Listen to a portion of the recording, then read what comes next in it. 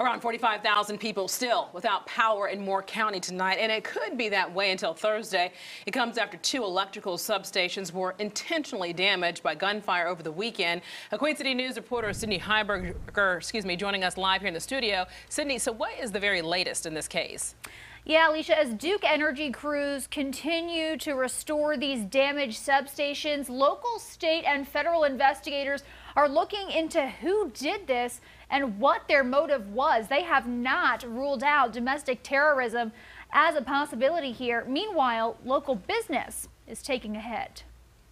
Regardless of motive, violence and sabotage will not be tolerated. North Carolina Governor Roy Cooper visited one of the substations targeted in Saturday's attack, raising concerns about the implications of a new kind of violence. Individual uh, that done the damage knew exactly what they were doing.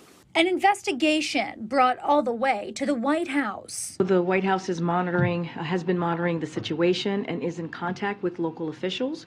Uh, local law enforcement is receiving federal support on the investigation. Meanwhile, electrical crews are working in overdrive to repair the intentional damage, and locals are doing what they can to protect themselves and their businesses. Ed Nicely has been sleeping at his gun store since the outage on Saturday.